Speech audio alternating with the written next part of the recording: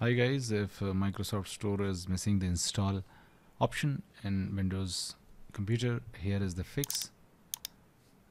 Just search services in the search box and now click on services from the search result which is having a gear shaped icon. Now locate Microsoft Store install service. Okay. If you cannot find Microsoft Store install service, locate Windows Store install service.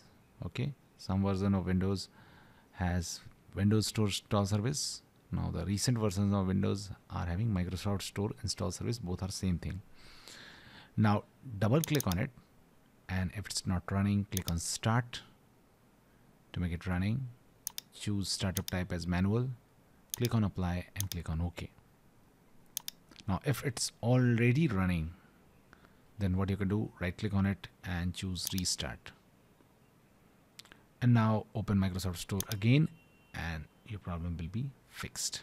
If this does not fix let's move to next method. Just search WSRESET hit enter and it will open a command prompt.